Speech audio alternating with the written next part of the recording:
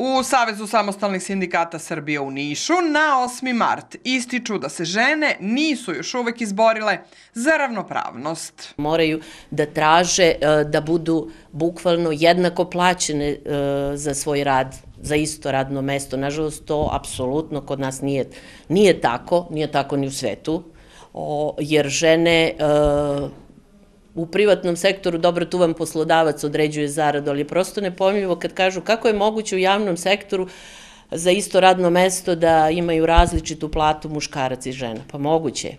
Žene su vrlo e, redko imaju taj neki dodatak za rukovodeće mesto, jer su dve trećine rukovodioci muškarci, onda zbog opet on, svoje porodice, onih obaveza, manje su spremne da e, ostanu duže na poslu, da rade prekovremeno, da se uhvate i nekih dodatnih angažovanja e, i sve to u zbiru onda dovede do toga da one imaju, rade isto, a manje zarađuju. Među najčešćim problemima koje žene ističu su mobbing i zlostavljanje, kaže lokalna ombudsmanka grada Niša Katarina Mitrovski. Da je svakako se broj femicida povećava bez obzira na to što se i zakon promenio i što mnoge institucije i reaguju na određeni način i dalje je to, da kažem, jedna bolna tačka, ne samo pojedinke žene, već i čitavog društva.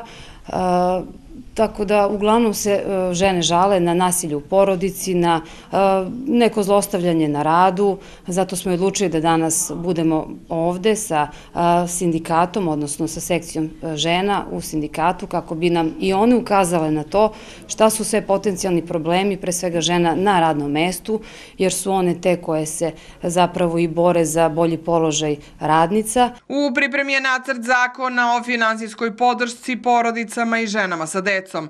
Jedna od važnijih stavki kao deo ovog zakona trebalo bi da bude finansijska naknada ženama za obavljanje kućnih poslova. Koliko smo mi blizu ili daleko od toga, videće se u narednom periodu.